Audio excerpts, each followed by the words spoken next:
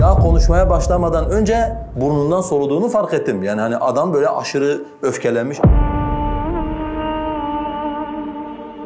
Bana dediler ki bir tane abi sizinle çok acil görüşmek istiyor. Ben de yani tanıdığım bir abi dedim herhalde çok önemli bir mesele var ki bu çok önemli meseleden dolayı benimle görüşmek istiyor. Geldi ama yani daha konuşmaya başlamadan önce burnundan soluduğunu fark ettim. Yani hani adam böyle aşırı öfkelenmiş, aşırı sinirlenmiş.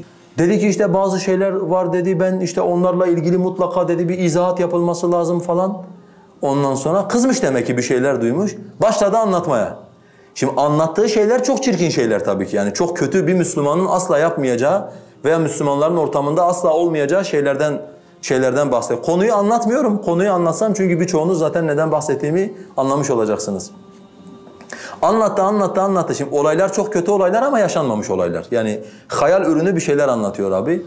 Tabi arada konuyu anlatırken şimdi o heyecanla bana nasihat ediyor, yeri geliyor hakaret ediyor. Yani hani hepsi beraber hani Müslüman dediğim böyle olmaz. İşte Müslümanın ahlakına bu yakışmaz diyor. Allah'tan korkmak lazım siz insanların önündesiniz falan diyor. Biraz nasihat, biraz hakaret, biraz böyle şey karıştırdı. Bayağı bir konuştu bitirdi. Ben de dedim ki abi ana anlattığın şeyler çok kötü şeyler.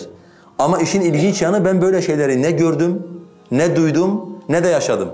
Git dedim sana kim bunları anlatmışsa, kim bunları sana söylemişse onu al benim yanıma getir.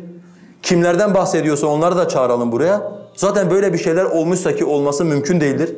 Ben böyle insanların bu ortamda bulunmasına asla asla müsaade etmem. Ha olmuşsa da ne yapalım? Allah'a tövbe ederiz. Bu adamları da aramızdan uzaklaştırırız, olur biter. Adam gitti bir hafta geçti gelmedi.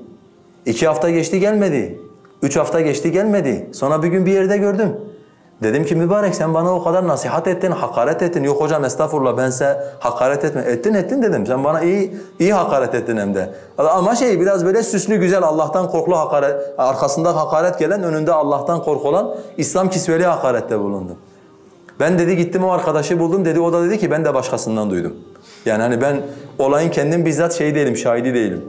Diyor dedim ki tamam o zaman bak hoca diyor ki git onu getir. Onu alalım hep beraber gidelim e, yanına. E, bu şekilde konuşalım.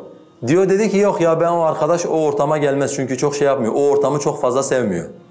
Yani bizi sevmeyen, bize hasım olan bir adam birilerine hayal kurduğu veya temenni keşke böyle olsa da bunları eleştirsek dediği bir şeyler anlatıyor hayal ürünü. O da bu duyduklarını sanki kendi görmüş gibi birinci ağızdan bir Müslümana anlatıyor.